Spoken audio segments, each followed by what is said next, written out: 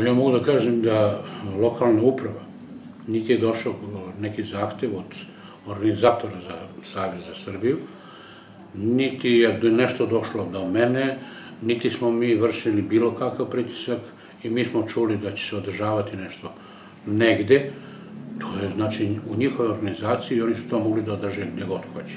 Posle toga je ispolo da smo mi zabranjivali da se u tim privatnim prostorijama, koje salama, da kažem tako, konkretno u Gazeli, da smo mi zabranjivali da se tamo ne održava taj savez za Srbiju, ta promocija njihova.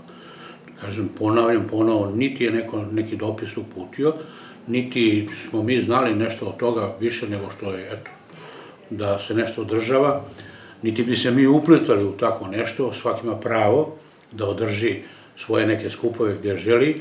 Normalno ti privatnici su profesionalci, oni rade svoj posao, oni izdavaju sale, sad, da li ovi nisu želeli da plate ili su mislili nešto, ne znam šta je bilo, pa im je možda izgovor najlakše da kažu neko im je zabranio. Ovde niko nije zabranio, niti je neko pitan, mene su zvali da pitaju za skupštinsku salu, da im izdam skupštinsku salu za tu njihovu promociju, međutim, skupštinska sala za takve stvari se ne izdaje, niti se može izdati. Skupštinska sala zna se zašto služi, za odbornike koji su izabrani zvanično i za neke promocije koje u gradu tipa sporta ili neku drugu organizaciju, međutim, političku nikako.